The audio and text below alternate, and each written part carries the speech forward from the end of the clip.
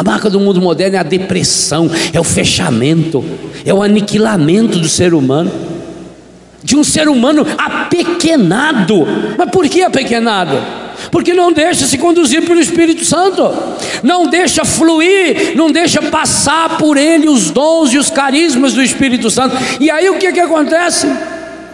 Volta no que eu dizia do Papa na Dominum et Vivificante.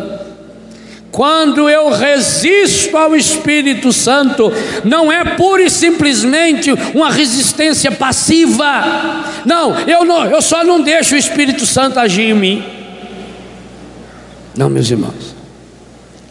Quando eu não deixo o Espírito Santo agir em mim, quem age em mim é o Espírito encardido. Você não tem outra escolha. Hoje você precisará tomar nesse acampamento uma decisão.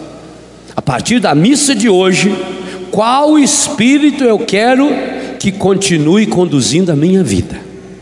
Porque alguns de nós aqui já sabemos muito bem os estragos que o espírito encardido fez em nós, porque nós resistimos ao Espírito Santo.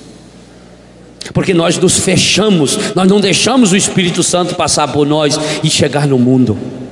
Nós, a pessoa fechada em si é feito um mar morto, morre, não tem para onde doar, não tem para onde entregar, não tem para onde partilhar, morre e mata o que está ao seu redor.